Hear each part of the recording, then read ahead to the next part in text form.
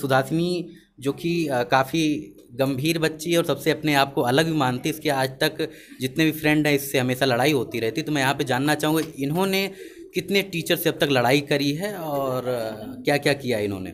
तो सुधासिनी क्या कहना चाहेंगे? कितने टीचर से अब तक आपने लड़ाई करी है? सर मैंने लड़ाई नहीं की है। लड़ाई नहीं करी है। तो आपको कैसा महसूस होता है कि लड़ाई करने की नौबत आए टीचर आपको कुछ बताए या समझ में नहीं आया ऐसा कुछ? नहीं सर।